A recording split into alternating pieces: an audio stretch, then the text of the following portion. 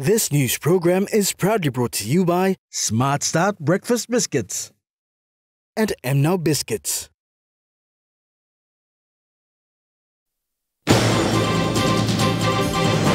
Three prisoners in Kiunga escape and still at large in Western Province. Papua New Guineans encouraged to preserve and look after land. And Goroka Lahanis defeat the Lae Snax Tigers in Port Moresby 19 points to 18. A very good evening. You're watching National EMTV News. I'm Godwin Eki. Thank you for joining us. Three suspects kept in police cell escaped and are still on the run in the Western Province. Provincial Police Commander for North Fly Command, Chief Inspector Owena Ofeke, says the police cell in Kiunga needs maintenance work for the effective policing. According to police inspector, the three suspects that escaped from the police cell are from Tari in Hela province. They were apprehended for smuggling 22 kilograms of marijuana bag into the Western Province on July 9th of this year. While detained and waiting formal court process, they managed to open the roof and escaped after spending seven days in the cell. They opened up the roof and they, they escaped, uh, evading uh, justice to prevail. And uh, for this uh, the, uh, from, from the police cell. I, I cannot uh, uh, quit jumping to blaming my police officers on duty because the public safety is it's only maintained by one or two police officers 24-7. at a time, they escape Currently, the police cell in Kiunga can cater for only 40 inmates and cannot fit others due to limited space. Hence, the Chief Inspector Feke says maintenance work is needed at this time so that arrested suspects must not escape. The maintenance part of the cell at this time is a need for Kiunga police station. Uh, Tabubil is alright. Uh, Ningum is okay, the cells. Uh, but for Kiunga alone, needed major maintenance. He added that effective policing in the North Fly Command and Western Province as a whole needed collective effort from the community leaders, the district, including the Fly River Provincial Government, to work together to maintain good order, peace, and public safety.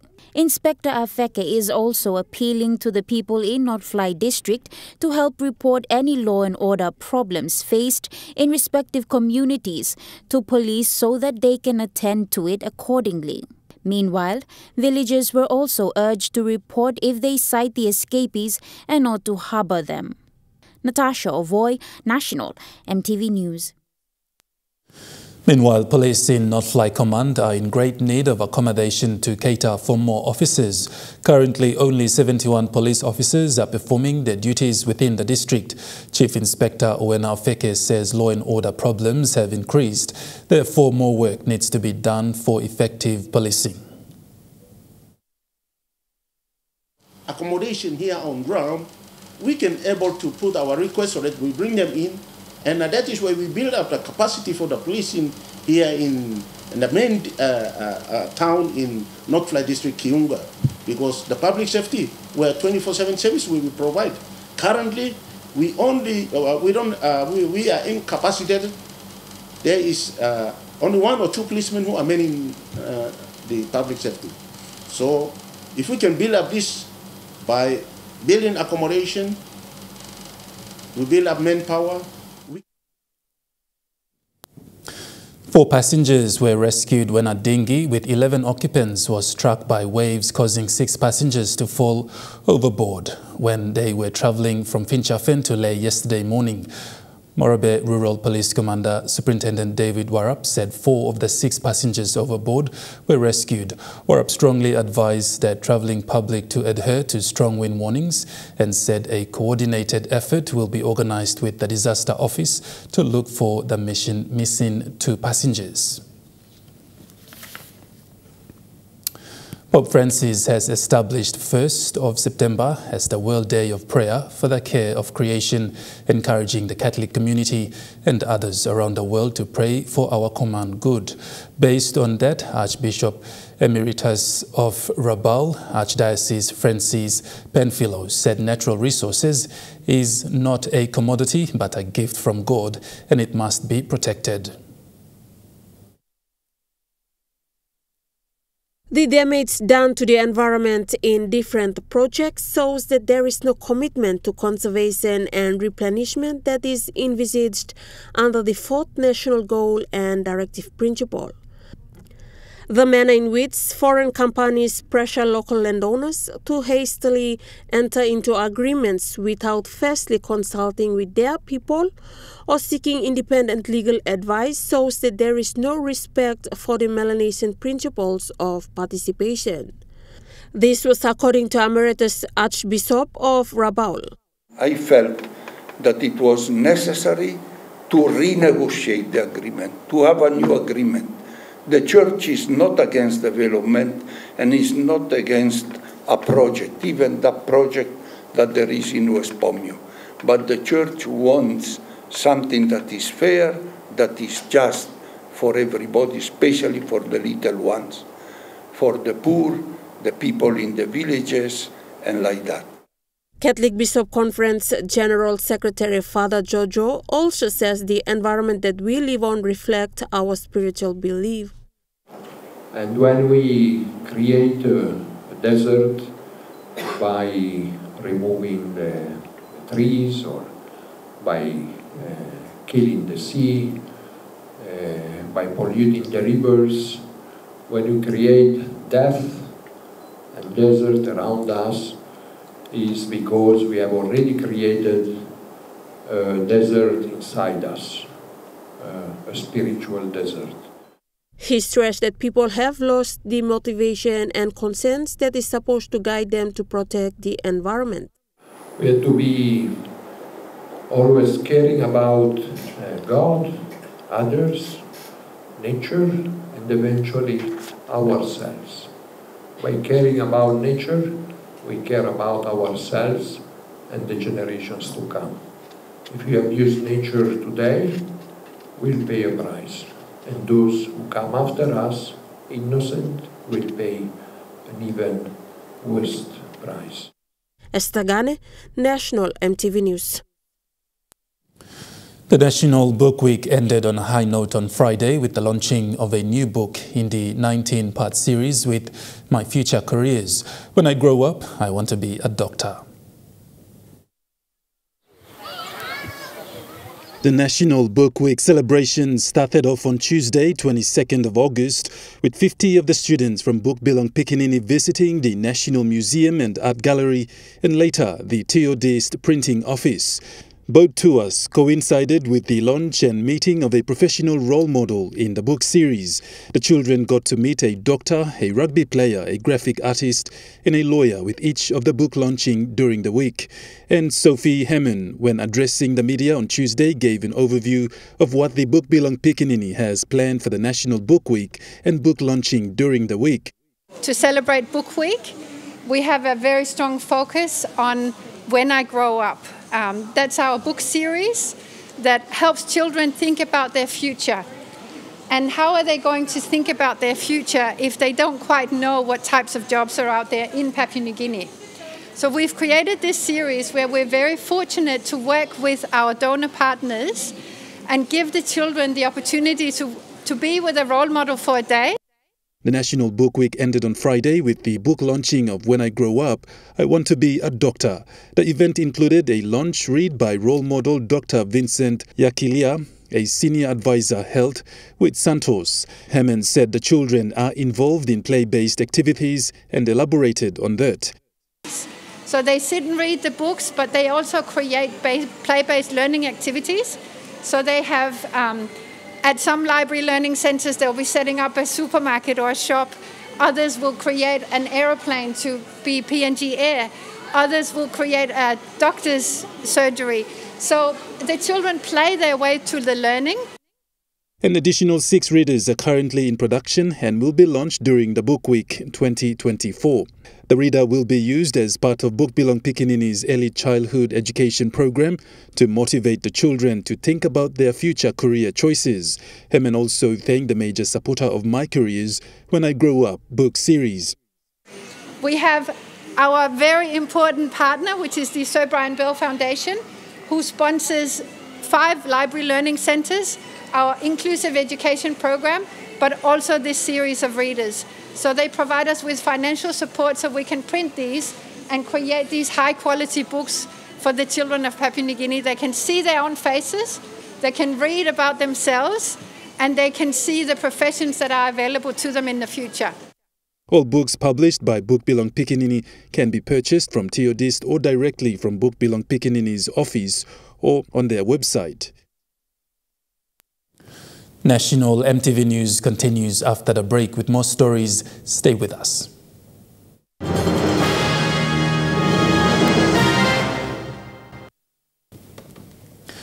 You're watching National EMTV News. The United Nations Population Fund has provided 14 solar lights to Lae Area Medical Store in Morobe Province to improve the security of the medical warehouse. The Lae AMS team managed to successfully set up the lights at the warehouse with two flat lights around the yard and the two security lights on the roof of the warehouse. The remaining lights will be set up inside the warehouse storage space.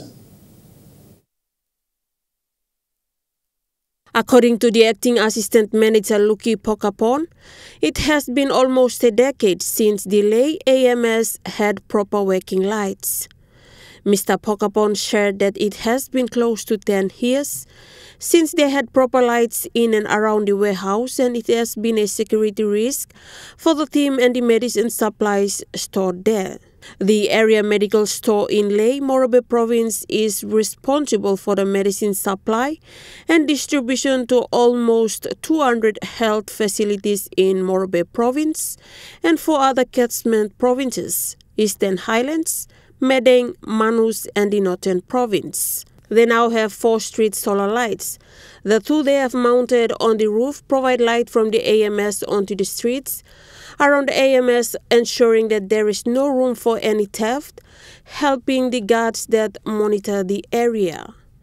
UNFPA's work with the Lae AMS is part of the organization's work in strengthening reproductive health commodity supply chains, ensuring that medicines and devices are available when and where they are needed in health facilities around the country. In addition to procuring reproductive health commodities, UNFP works in partnership with the National Department of Health to provide inventory management training for health facility staff responsible for managing stock levels of essential medicines to improve logistics between the area medical store and health facilities. Esther Gane, National EMTV News.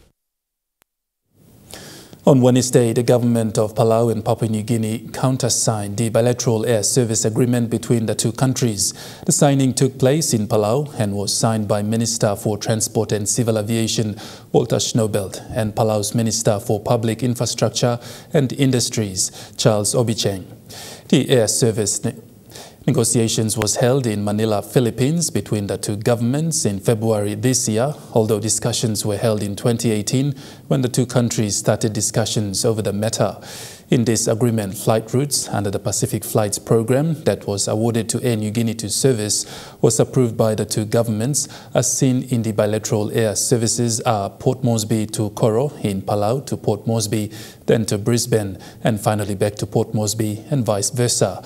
These routes will provide more air connectivity to the people of both countries to Brisbane via Port Moresby, thus providing connections to other destinations within the region.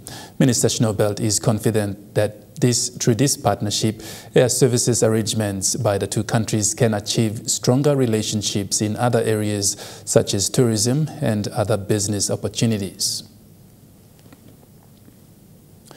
BSP's financial literacy program continues in selected schools in the country in partnership with their community partner NRL club, Brisbane Broncos. Students from St. Joseph Malagunan Primary School in Rabaul, East New Britain, were the recent recipients of the program that aims to help school children understand the basics of budgeting in order to make better financial, financial decisions.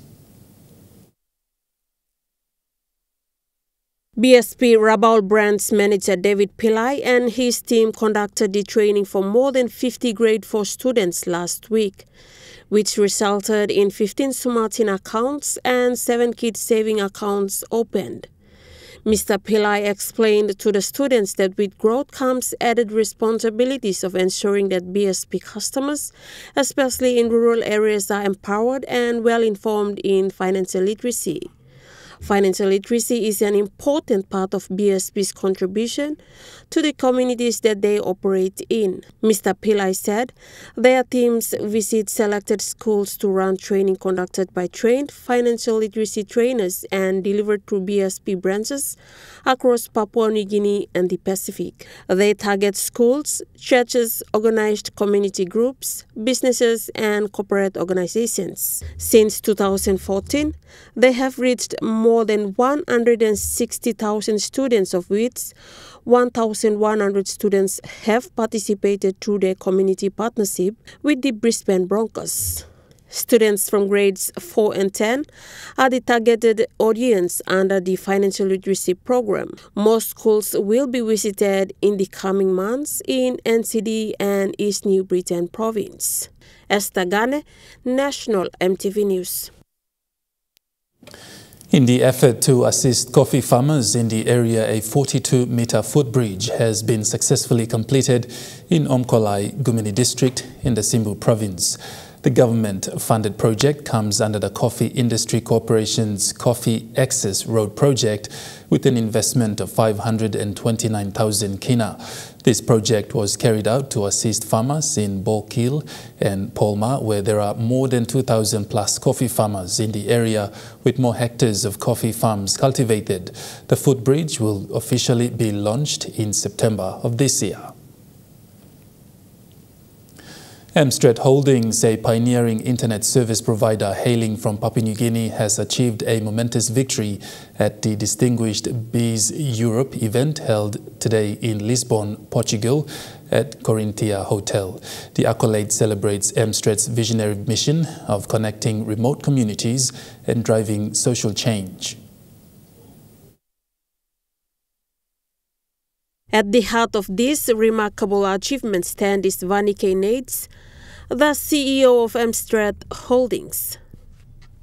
The unwavering commitment to the vision and passion with Mstret's resolute dedication to closing the digital divide and creating social change has catapulted to the forefront of international recognition. Upon receiving the award, Vanike Nades conveyed her gratitude with profound appreciation. She says this recognition on a global platform of such significance fills her with deep gratitude on behalf of the company and PNG. Vanike and her team have scripted history as the first Papua New Guinean to claim this distinguished award. Her groundbreaking achievement serves as an embodiment of her pioneering spirit and her relentless determination to uplift her nation through digital empowerment and social inclusion. Esther Gane, National EMTV News. National EMTV News continues after the break. Stay with us.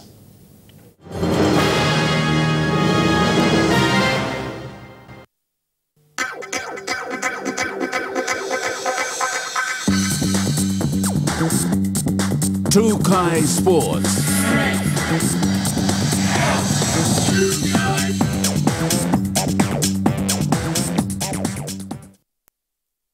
Welcome to Trukai Sports. The National Football Stadium was filled to capacity today in Port Moresby as supporters of both teams, the Lace Tigers and the Goroka Lahanis, came in their numbers to support. From the get-go, the two teams showed great skills and prowess to getting the crowds excited. In a tough contest, though, it was the Lace sides that scored two points in the first half to lead, but that changed after the Lahanis scored two back-to-back -back tries to lead the first half. With 16 minutes to half-time, Lae Snax Tigers equalized the score, bringing the halftime scores to 8 all. In the second half, the game got even tougher as the Tigers scored another try to lead the match in the second half. But again, towards the full-time siren, the Goroka Lahanis returned the favour only to equalise the scores 18 all at full-time. The match was given another 10 minutes, 5 minutes each way to test the skills of the two teams. Despite the strong contest, the Goroka Lahanis proved to be the more dominant side. This weather update is proudly brought to you by MoniPlus, with you always.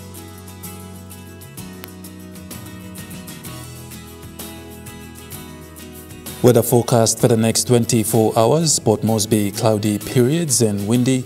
Daru cloudy periods, windy with possible brief showers. Kerema and Popondetta few showers. Alotau cloudy periods with chances of few showers. In the Momase region, Lae occasional rain showers. Madang partly cloudy. Wewak partly cloudy with brief rain drizzle. Vanimo few showers and drizzles and possible thunderstorm. In the New Guinea Islands region, Lorengau, few showers and thunderstorm. Kavieng and Kimbe, partly cloudy. Kokopo and Rabaul, partly cloudy as well. Buka, few showers and possible thunderstorm. And in the Highlands region, Mount Hagen, Goroka and Kundiawa, few showers. Mendi and few showers and rain drizzle. Waters of southern PNG Indonesian border to Daru to Kiwai Islands, to Kerema to Yule Island, to Port Moresby to Hood Point to Samarai Islands, seas 2 to 3.5 meters, rising to 4 meters. Waters of Samarai Island to eastern and western Milne Bay Islands to Cape Vogel, seas 2 to 3 meters. Waters north of Cape Vogel to Huon Gulf to Finschhafen, seas 1.5 to 2.5 meters. Waters of Finschhafen through Vitiaz, Dampier Straits to CSC and Long Island to Madang and Karkar Island, seas 2.5 to 3.5 meters, rising to 4 meters. Waters of west of Madang to Wewak to Vanimo and northern PNG Indonesian border, seas 1 to 2 meters. Waters of Manus and its western group of islands, seas 2 to 3 meters. Waters of East New Britain to New Ireland and Bougainville, seas 2 to 3 meters waters of West New Britain seas 2.5 to 3.5 meters, rising to 4 meters.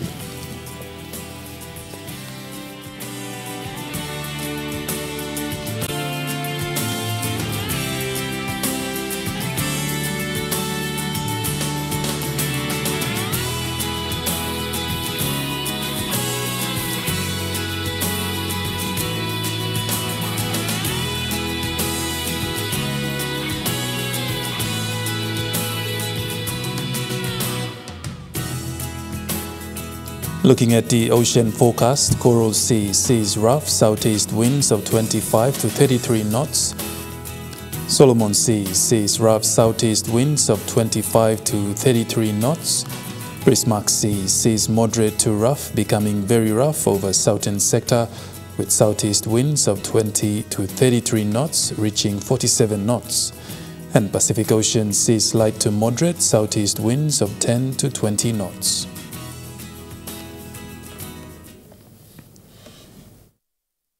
The weather update was proudly brought to you by MoniPlus, with you always. And that's how we end the bulletin for 27th of August 2023. From all of us here, pleasant viewing. Good night.